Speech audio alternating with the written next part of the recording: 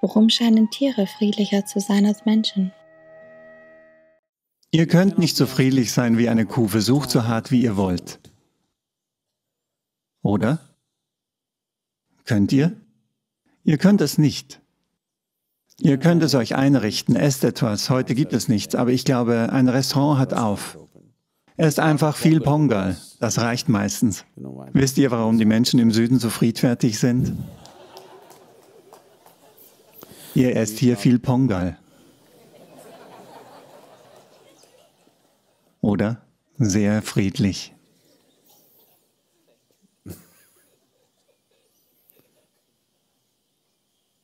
Das wirkt. Also, die Leute haben das ausprobiert. Exzessives Essen, Rauschmittel, übermäßiger Genuss von Freuden. Mit all diesen Dingen haben sie versucht, eine Art Frieden in sich selbst zu schaffen. Du dachtest, du hättest es erreicht, aber im nächsten Moment weißt du, dass du nicht da bist.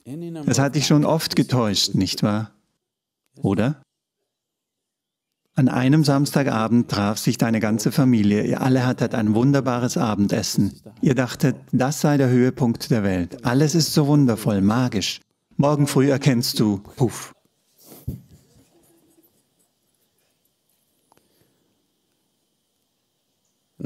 Nicht, weil mit deiner Familie etwas nicht stimmt. Es ist nur so, dass du mit einer eingeschränkten Wesensform versuchst, einen unbegrenzten Raum zu schaffen. Das wird nicht funktionieren. Das wird einfach nicht funktionieren. Ohne dass da etwas falsch liefe, es funktioniert einfach nicht. Es gibt viele große Dinge in der Welt, die nicht funktionieren. Ich interessiere mich einfach nicht für sie, das ist alles. Seid ihr an großartigen Dingen interessiert? Seid ihr an großartigen Dingen interessiert? Danke.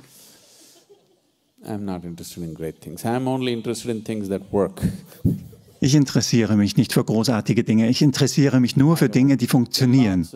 Es gibt viele großartige Dinge. Leute behaupten, es gäbe großartige Dinge, aber die funktionieren nicht. Die haben noch nie für jemand funktioniert. Das sind großartige Dinge, weil jemand das behauptet. Das sind großartige Dinge, weil jemand zu viel von sich selber hält und alles, was er macht oder sagt, großartig sein muss. Aber die Dinge funktionieren nicht.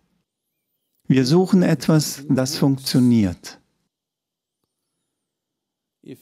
Wenn ihr die Richtung eurer Erfahrung in diesem Augenblick bestimmen wollt, zu 100 Prozent, beginnt ihr festzustellen, dass eure Beine, die verdammten Beine, wahnsinnig wehtun. Aber trotzdem,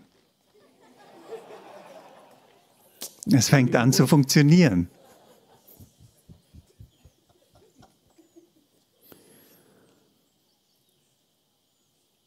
Wenn ihr das Wesen eurer Erfahrung in diesem Augenblick bestimmt, zu 100 Prozent, sagen wir, wir nehmen das jetzt an, ihr tätet das.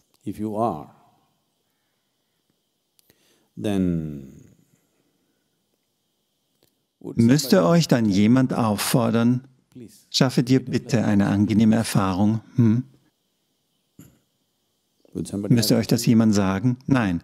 Wenn euch also jemand sagt, du sollst lieben, sei glückselig, das ist dann alles Schwachsinn. Ja oder nein?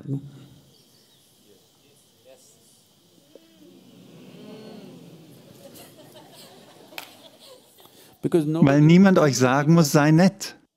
Das Problem ist, dass ihr nicht in der Lage seid, die Art eurer Erfahrung selbst zu bestimmen, nicht wahr? Oder? Das Problem ist, dass ihr, warum auch immer, nicht in der Lage seid, die Art eurer Erfahrungen selber zu bestimmen.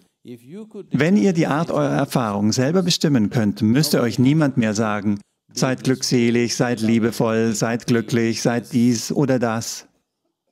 Das alles kommt von, ihr wisst schon, fragmentierten Vorstellungen vom Leben.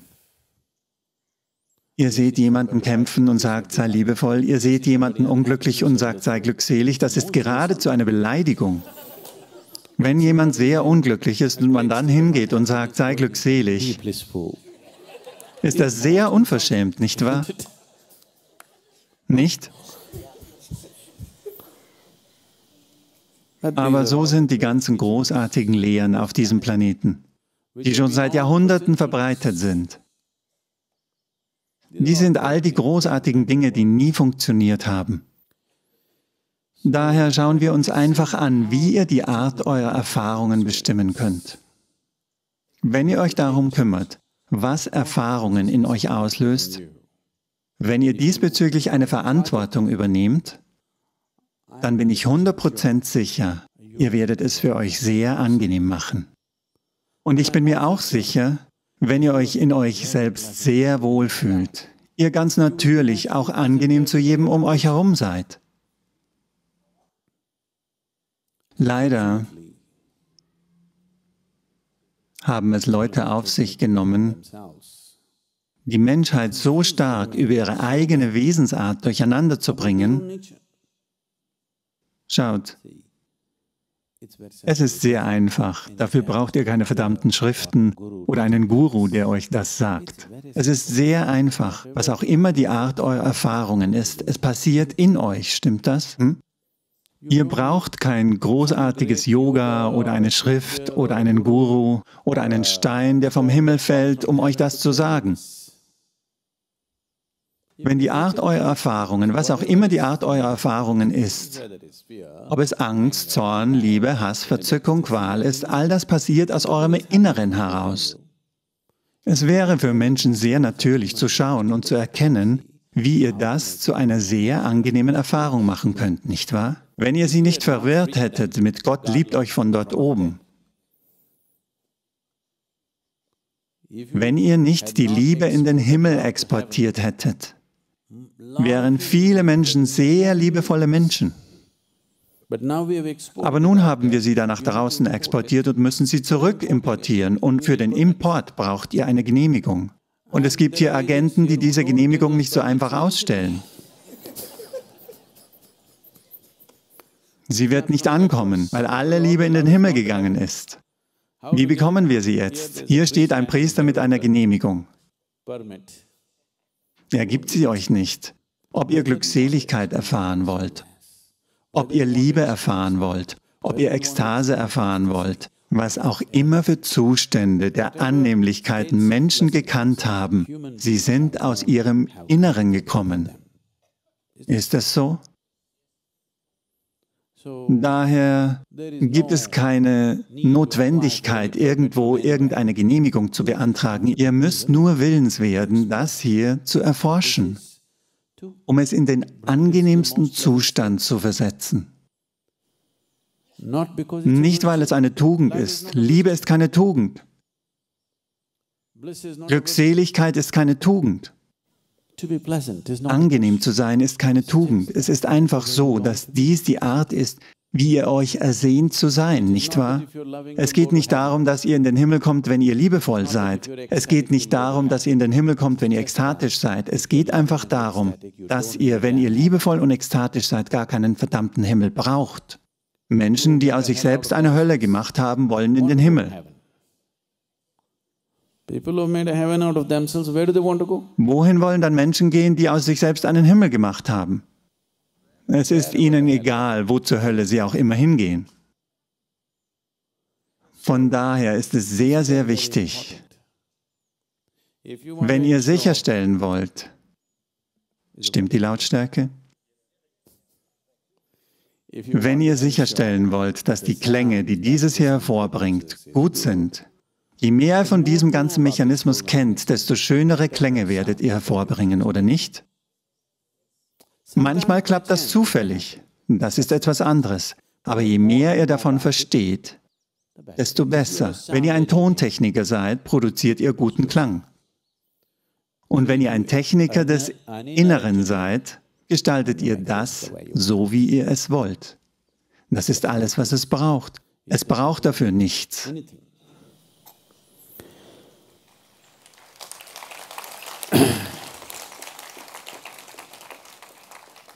Es ist nur so, dass weil es in einer anderen Richtung liegt, als in der, in der ihr ständig mit eurer Sinneswahrnehmung schaut, braucht ihr vielleicht Hilfe. Nicht unbedingt, aber im Allgemeinen schon. Ihr braucht ein bisschen Hilfe, aber das ist es auch schon. Die Gnade ist genau diese Hilfe, dass sie eine förderliche Atmosphäre für den Einstieg erzeugt. Wenn irgendeine Maschine gut funktionieren soll, Leute drücken das heutzutage oft so aus, muss sie gut geschmiert sein. Versucht das mal selber, was auch immer ihr für großartige Autos habt. Versucht die mal ohne Schmieröl zu fahren. Es dauert keine zehn Minuten, bis es zerstört ist, oder? Es ist das Schmieröl, das es am Laufen hält. Ohne das kleine bisschen dünnen Schmierfilm ist diese gesamte Maschine in kürzester Zeit zerstört. Die Gnade ist genau das, dieses bisschen Schmieröl, durch das die Dinge reibungslos laufen. Das haben sie angefangen als Flüssigkeitstechnik zu bezeichnen. Alle haben damit angefangen. Es ist aber passend. Es braucht dafür einen Flüssigkeitstechniker. Also braucht das ein wenig Technik. Gnade ist nur ein Schmiermittel. Wenn ihr versucht, ohne das Schmiermittel zu funktionieren, wird die Reibung, nur die Reibung des Lebens, hat so viele Menschen zerstört, nicht wahr? Oder? Dabei haben sie nichts Großes getan, nur einfache Dinge. Sie wurden ohne ihr Zutun geboren. So etwas Großes haben sie gar nicht gemacht. Das ist ihnen einfach passiert. Sie wollten nur gut essen, gut schlafen, ihre grundlegenden Bedürfnisse befriedigen. Das ist alles, was sie wollten. Wie viele Menschen sind bei diesem Vorgang zerbrochen, verbittert und zerstört worden? Weil das Schmiermittel fehlte. Ansonsten fehlte ihnen nichts. Sie versuchen, ihre Motoren ohne Schmieröl zu betreiben, sonst nichts. Versteht, dass sogar eure Mobiltelefone funktionieren, weil der Klang durch die dünne Luft geleitet wird, nicht wahr? Hm? Wir können das einfach stören. Ihr kennt die Werbung Hallo, hallo, hallo. Habt ihr die gesehen? Mobiltelefone sind dazu geworden, weil es ein bisschen Störung gibt. Das ist es, was mit dem hier passiert. Dies ist ein weit höher entwickeltes Instrument als alles, was ihr kennt. Dies braucht ein klein bisschen Aufmerksamkeit. Wenn ihr aufmerksam seid, lohnt sich das.